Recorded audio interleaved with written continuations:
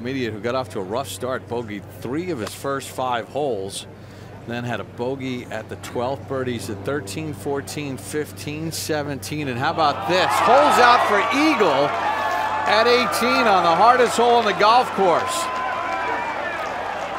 Ever the showman. What a way to finish for Rocco. Shoots 31 on the back after a 38 on the front, a 69.